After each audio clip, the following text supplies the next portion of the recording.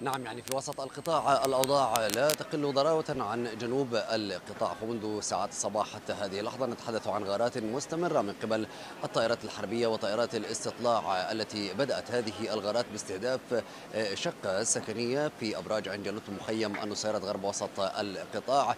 نتج عن هذا الاستهداف أربعة شهداء وعدد آخر من الإصابات التي وصل جزء منها إلى مستشفى العودة بالمخيم وجزء آخر قد وصل إلى مستشفى الشهداء الأقصى حيث نتواجد التواجد كان هناك أيضا في منطقة دير البلح بالتحديد المناطق الشرقية وبالتحديد أكثر المناطق الجنوبية الشرقية لمدينة دير البلح في شارع أبو عريف. قامت طائرة مسيرة بتفجير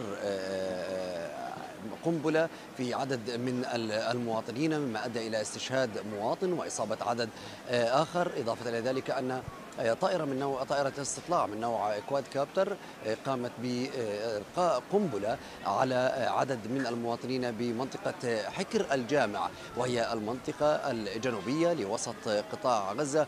مما أدى إلى إصابة عدد منهم ولم يجدوا سيارة إسعاف تقوم بنقلهم تم نقلهم من خلال سيارات مدنية قد وصلت بهم إلى مستشفى شهداء الأقصى. وصفت حالاتهم أن أغلبها هي ما بين الخطيرة والمتوسطه إلا أن حتى هذه اللحظة الطواقم الطبية لا زالت تتعامل مع هذه الإصابات التي وصلت إلى المستشفى رغم قلة الإمكانيات التي تحدث عنها الوزارة في أكثر من مرة، هذا من جانب، من جانب آخر إذا ما تحدثنا عن العمل العسكري الميداني على الأرض من ناحية الحركة أو العمل البري لهذه الآليات الإسرائيلية. لوحظ في ساعات الصباح الأولى أن هناك تقدم لهذه الآليات حتى وصلت إلى ما يعرف بمنطقة ملعب الطواشي وهي المنطقة الشرقية لمدينة دير البلح. هذه الآليات التي تقدمت تقوم بإطلاق الرصاص بشكل مكثف وكما تقوم بإطلاق قذائفها المدفعية بشكل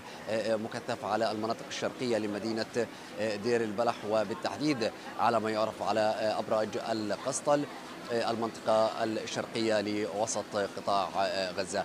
من ناحية أخرى نتحدث عن قصف مدفعي لم يتوقف وهذا ما اعتاد عليه سكان قطاع غزة بشكل عام ووسط القطاع بشكل خاص إن إذ أن المدفعية الإسرائيلية لا تتوقف في إطلاق قذائفها باتجاه منازل المواطنين بالتحديد شرق منطقة أو مخيمي المغازي والبريج شرق مدينة دير البلح إضافة إلى المنطقة الشمالية الغربية والشمالية الشرقية أي شمال مخيم النصيرات وأيضا في على منطقة المغراقة ومنطقة مدينة الزهرة وهي المنطقة الشمالية الغربية لوسط قطاع غزة نلاحظ أيضا بأن هناك تحليق مكثف لطائرات الكواد كابتر التي لا تتوقف في التحليق وفي استهداف وأيضا في إطلاق الرصاص على المواطنين نعم.